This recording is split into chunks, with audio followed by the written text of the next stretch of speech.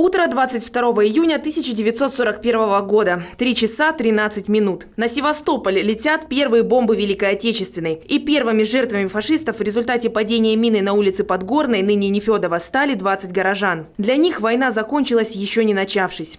Впереди у Севастополя 250 дней героической обороны. У всей страны 4 года кровопролитных сражений. И победа ценой жизни миллионов советских граждан.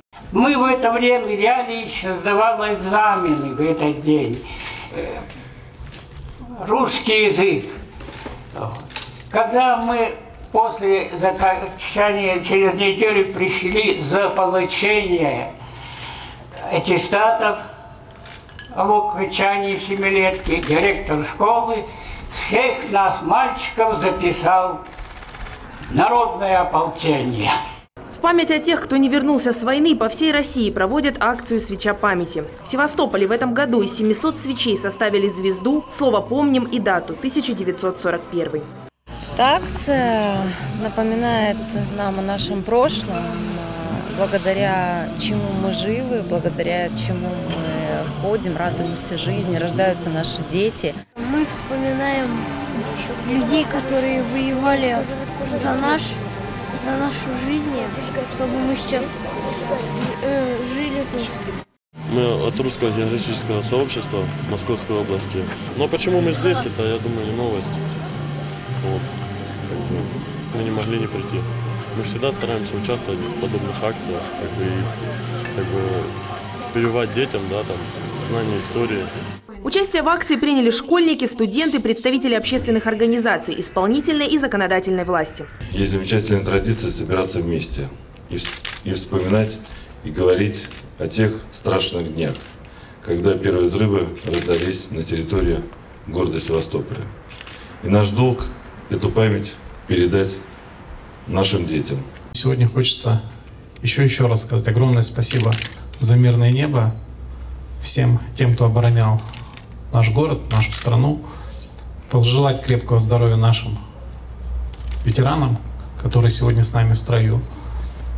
И дай Бог, чтобы такие войны никогда на земле не повторялись. В Севастополе свечу памяти зажигают уже восьмой год подряд. Последние несколько лет подготовкой и проведением акций занимаются волонтеры. Для меня этот день, а, вот суть этого дня, наверное, отражается лучше всего в словах а, Роберта Рождественского в стихотворении «Помните». Помните через века, через года, помните о тех, кто уже не придет никогда. Пожалуйста, помните.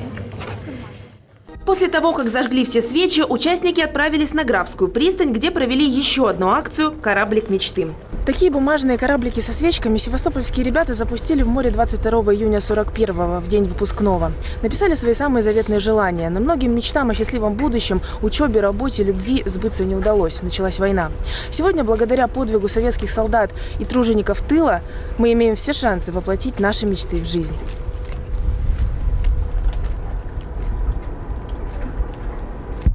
Я не знаю, как сказать, перед, описать ощущения, потому что как давным-давно уже запускали, не знали, что будет война. И тоже как-то немножко даже передается этот дух. А, а что ты написала Секрет. В этом году акцию провели не только на Графской пристани, но и на северной стороне. В общей сложности на рассвете горожане отправили в плавание более 400 белоснежных корабликов мечты. Вероника Андреева, Николай Карташов, информационный канал Севастополя.